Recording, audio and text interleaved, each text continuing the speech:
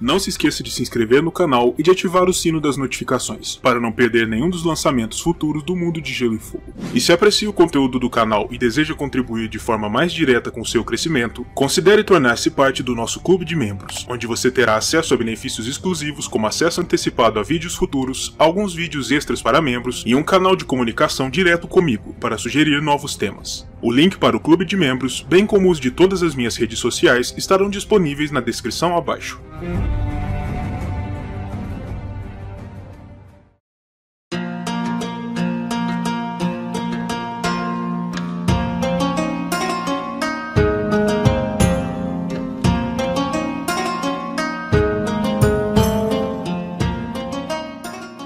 Lannisporto é uma das maiores e mais importantes cidades dos Sete Reinos de Westeros, ficando atrás apenas de Porto Real e de Vila Velha, tanto no sentido populacional quanto na questão de relevância, e é também o principal núcleo urbano da porção ocidental de Westeros, sendo controlada e vigiada de perto pelos Lannister, cuja grande sede de Rochedo Casterly se localiza imediatamente ao lado, se erguendo do mar como uma gigantesca e intimidadora sentinela de pedra.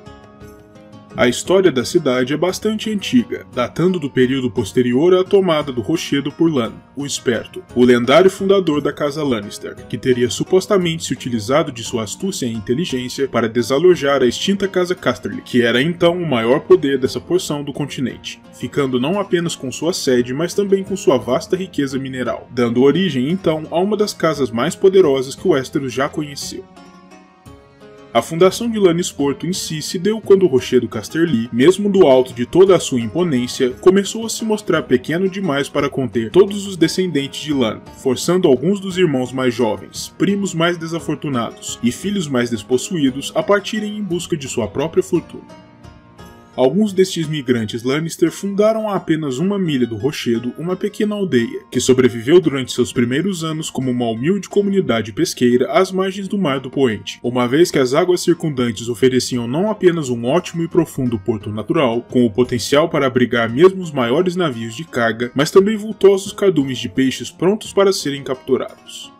A abundância material e a posição vantajosa do porto, a apenas algumas centenas de metros do coração do poderio Lannister, fizeram com que a comunidade evoluísse para um assentamento murado, que enriqueceu com o fabuloso fluxo de metais preciosos que emergia de entre as montanhas ocidentais, e com as rotas comerciais que atravessavam os domínios do Reino do Rochedo, até o ponto de vir a se tornar uma cidade propriamente dita, rivalizando inclusive com Vila Velha, que era então o maior e mais rico porto no oeste do continente. Mesmo assim, os Lannister que se estabeleceram em Lannisporto, apesar das riquezas que fluíam através de sua cidade, foram suplantados por seus primos do Rochedo e acabaram se estabelecendo como um ramo menor e subalterno. Mas não se deve jamais intuir a partir desse fato que eles seriam um ramo empobrecido ou vulnerável da casa, pois este não era de modo algum o caso. Durante o período do início das invasões ândalas ao continente, a cidade já era a segunda maior em Westeros, atrás apenas de Vila Velha, e oferecia um panorama tão curioso e convidativo que até mesmo o rei Lorion V Lannister, segundo rumores persistentes, tinha por hábito se esgueirar para fora de sua fortaleza disfarçado como uma meretriz comum, apenas para vaguear pelas ruas de Lannisporto, em busca de curiosidades e oportunidades que atiçassem seus sentidos. Tal história lhe renderia para a posteridade a alcunha de Rainha Lória. Um fato que sempre acompanhou a trajetória de Lannisporto é a óbvia vulnerabilidade da cidade a ataques vindos do mar, em especial dos Homens das Ilhas de Ferro.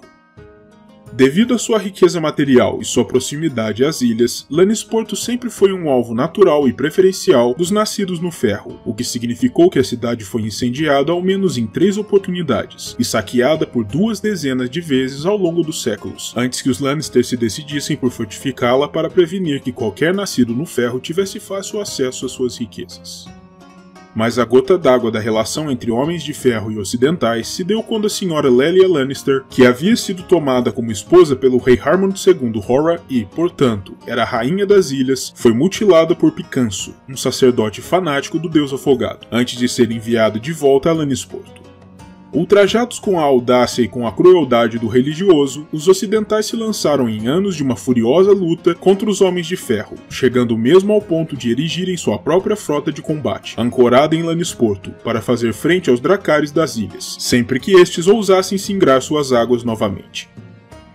Depois que Loren Lannister dobrou seu joelho a Aegon Targaryen e seu reino foi incorporado à nova nação criada pelo Conquistador, Lannisporto passou a ser, novamente, a segunda maior cidade do novo reino, como fora a segunda maior cidade do continente anteriormente, ainda suplantada por Vila Velha. Depois que a rainha Elinor Costain, uma das muitas esposas de Maegor I, abriu mão não somente de seu lugar na corte, mas também de sua posição como nobre, ela partiu em direção a Lennisporto, onde passou a ser conhecida como Irmã Elinor, e passou a viver e a servir na grande casa da mãe na cidade, pelo resto de seus dias. Quando a Dança dos Dragões explodiu em Westeros, Lord Dalton Greyjoy, conhecido como o Kraken Vermelho, se aproveitou do caos no reino para lançar uma incursão de saque a Lannisporto, no ano 130, roubando os tesouros dos Lannister e incendiando sua frota de combate. Mas não demorou muito tempo até que os ocidentais retaliassem, e em 134, uma expedição punitiva foi enviada até as Ilhas de Ferro, e de lá retornou com espólios de guerra, embora menos extravagantes do que aqueles saqueados do Porto Lannister quatro anos antes e com alguns cativos de alto nascimento. Mais adiante no tempo, em 196, durante a primeira das rebeliões Blackfire, o cavaleiro rebelde Sir Quentin Ball atacou Lannisport em nome da facção rebelde, matando Lord Lefford à sombra dos portões fortificados e forçando o Senhor do Ocidente, Lord Daemon Lannister, o Leão Cinzento, a bater em retirada para dentro da segurança das muralhas da cidade. Apesar dessa vitória, contudo, o Cavaleiro Bola de Fogo não foi capaz de tomar Lannisporto, e a rebelião foi suprimida ainda naquele mesmo ano. No ano 209, durante a erupção da Grande Praga da Primavera através do reino, Lannisporto foi um dos locais atingidos com mais força pela enfermidade, embora as cidades maiores tenham sofrido ainda mais. Mais tarde, em 267, com o falecimento de Lord Titus Lannister e com a ascensão de seu filho Tywin ao posto de Lorde do Ocidente, a ambiciosa amante do senhor falecido foi forçada pelo novo Lorde a empreender uma caminhada de penitência, completamente nua, através das ruas de Lannisporto, para que fosse humilhada e, assim, colocada em seu devido lugar, antes de ser expulsa das terras ocidentais. Naquele mesmo ano e no ano seguinte, Lord Tywin e seu velho amigo, o rei Aerys II, alternaram períodos de residência entre Lannisporto e o Rochedo, governando juntos o reino, com Tywin tendo sido escolhido como mão do rei. No entanto, foi neste mesmo período em que a relação entre ambos começou a mostrar sinais de deterioração, como na feita em que o rei determinou um aumento de três vezes nas taxas portuárias que incidiam sobre os comerciantes de Lannisporto, contrariando o conselho de Tywin, apenas para reverter sua ordem real pouco depois, dando a entender a todos no reino que a ideia por trás do aumento abusivo fora de Tywin, e que ele, Aerys, desautorizara seu serviçal a tomar conhecimento da ideia, o que fez com que Tywin saísse como ganancioso e maligno conselheiro, enquanto Aerys era visto como sábio e justo monarca, que se preocupava com o bem-estar e com a saúde financeira de seus súditos.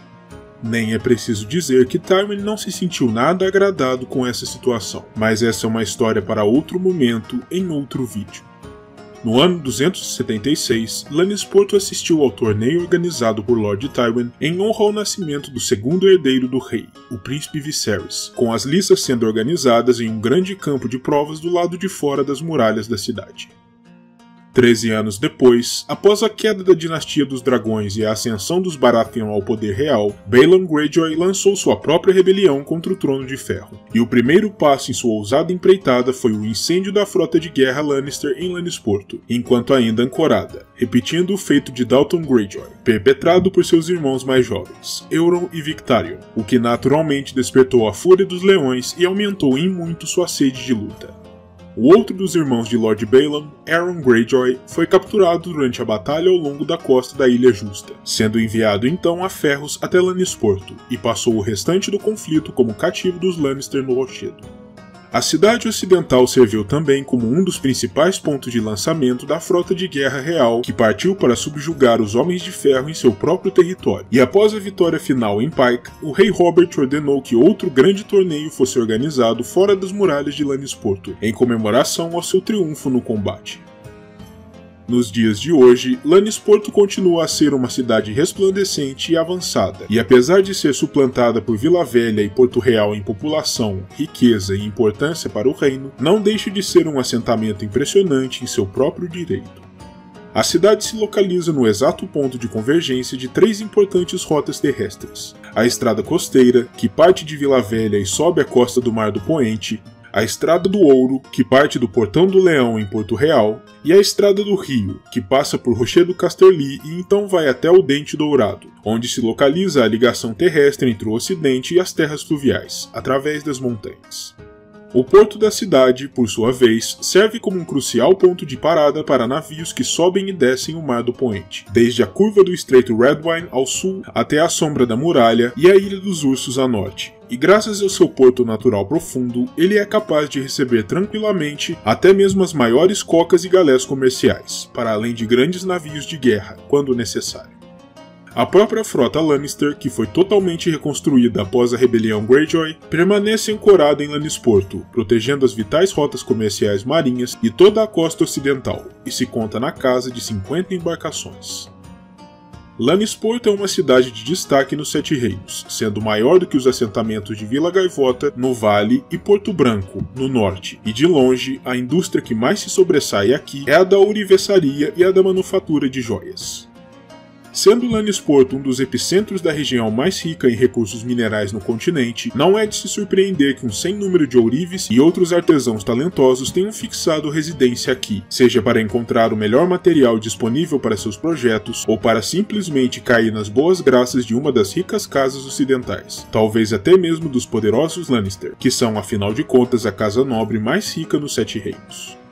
Outro ramo que se destaca na cidade é o da produção vinícola, e embora a indústria do Ocidente não tenha sequer uma fração da reputação e do volume de suas contrapartes na Campina e em Dorne, Lannisporto ainda é conhecida por produzir um doce vinho condimentado, misturado com mel. Embora o ramo menor dos Lannister ainda governe Lannisporto, eles são em última instância subordinados aos parentes do Rochedo, e um dos títulos conferidos ao Senhor da Fortaleza e do Ocidente é o de Escudo de Lannisporto, o que mostra seu caráter como o principal defensor da cidade.